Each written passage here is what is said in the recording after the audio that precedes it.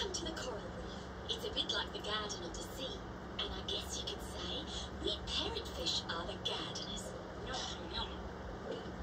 It may look like I'm just having a snack, but I'm actually helping the coral grow. Can you believe that?